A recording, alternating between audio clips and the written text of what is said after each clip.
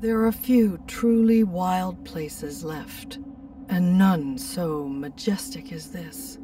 In winter, endless darkness is brightened by the frisky dance of the northern lights.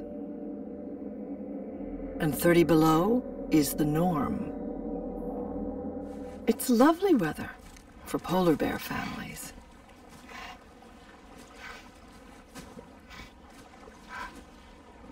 One hundred and fifty thousand years ago, some brown bears moved north and gradually adapted.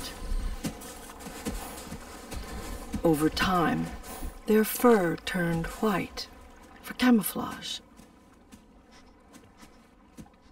Their snouts got longer and their noses keener to detect even the slightest whiff of dinner.